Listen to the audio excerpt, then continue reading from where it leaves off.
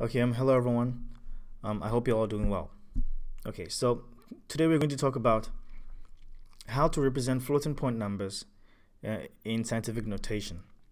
All right, so assuming that we had our norm in, in our normal math, assuming we had a number like let's say 200.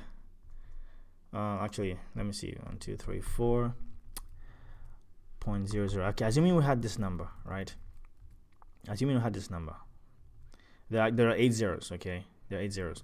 So assuming we had this number and we wanted to write write this in scientific notation, right? The normal way we do it in math will be something like two times ten.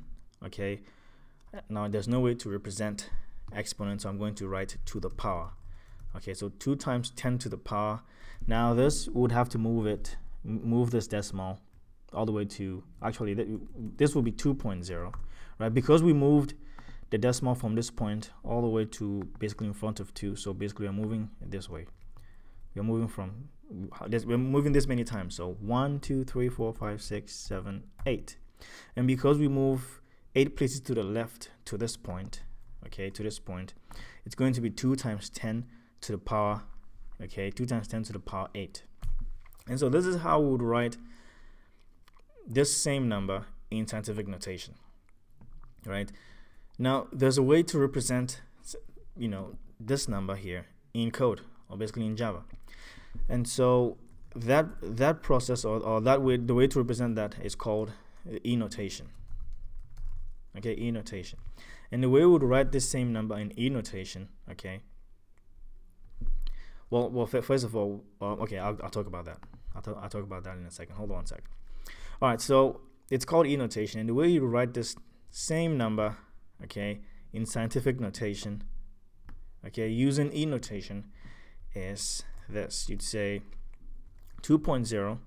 Now, in e-notation, okay, you can, you can, basically e-notation, you can represent 10 to the power the the the phrase 10 to the power we, we normally say 2 times 10 to the power 8 times 10 to the power 4 point you know 0.2 times 10 to the power you can represent 10 to the power or basically what's represented you know as 10 to the power is is the letter e the letter e capital e uppercase e or lowercase e and so I just wanted to mention this. And so the way you'd represent this number, okay, in scientific notation using E notation, okay, it's going to be 2.0 E8, right? Because E represents 10 to the power, right? So 2.0 times 10 to the power 8. Well, well, well.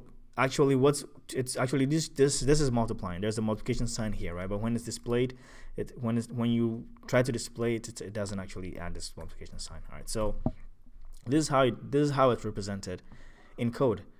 And so we can try an example. I can try storing oops sorry. I can try storing a, a number, this same number in a variable. Now we know it's a floating point number, right?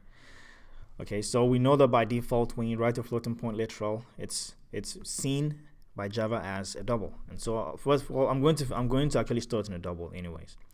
So double, I'm going to call this um, number is going well let's do that let's just declare this this is what we we've learned so far we'll talk more about declaring variables and, and initializing variables very soon and so I've declared a variable of type double called number and I'm storing this value the same value I'm just going to copy it in number right? Now if I wanted to display what's a number system.out.println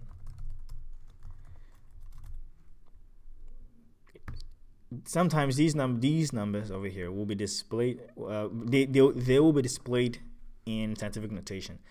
And you wouldn't see you know you wouldn't see this okay displayed you see something like this displayed and so remember we said this number is the same as 2 times 10 to the power 8 but it, it wouldn't display the code the program wouldn't display this and the way it displays numbers like this or basically scientific notation is using the e notation right? And so it's going to be dis display this to us because this is the same as this number.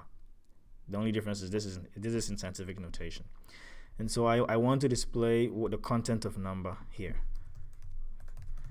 And so when I compile this, and I run it, we can see that it's it's given us exactly what, what, what we're expecting. It's it's given us the same answer, but in scientific notation, and it's the same as this: 2.0 times 10 to the power 8, and you can see think of e as 10 to the power, and it's basically it's it's basically multiplying 2.0 times 10 to the power 8, and so this is how you would this is how you dis you would represent floating point numbers um, in, in, in scientific notation notation.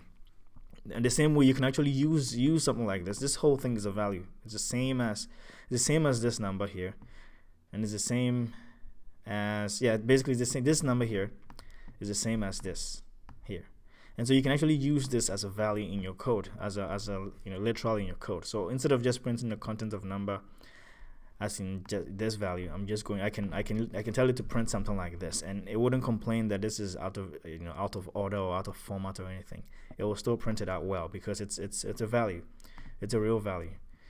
You can also use e small uh, lowercase e to represent scientific notation. It's the same thing. You can see that it even changed e to capital e. It is the same thing. Now you can try something cool here if I wanted to display, let's say a value like, let's say, um, 256, you know, 256, let's see, 25, 2567 times, sorry, 2567.08, okay, times 10 to the power 8. If I wanted to display that, let's see what happens. Look at what happened. Over here, I had 256.08 times 10 to the power 8 but it, it, it basically moved the decimal places over in front of 2 so that there's always one number before the decimal place. So so basically I had an exponent of 8 and so it moved to the left one two three places right? And because it moved to the, to the left three places and placed the decimal point right in front right um, after 2 because it moved three places to the left 3 was added to the exponent 8 and so it becomes 2.567 times 10 to the power 11 as you can see this is working actually it's working dynamically and that's and that's good. So don't worry about this too much. All you have to know about this video is that there is a way to represent floating point numbers in scientific notation and and it's represented in, in scientific notation notation by using the e notation okay? So you see numbers like this. I just wanted you, wanted you to see it and just so you don't get confused when you see it okay? And if you wanted to use it this is how you use it too. But we'll see more examples with this if if if, um, if need be all right so thank you very much for watching. Take care of yourself. If you have any questions please comment down below and as always i'll do everything to respond to them Take care of yourselves, and I'll see you next time with the next video. All right, bye bye.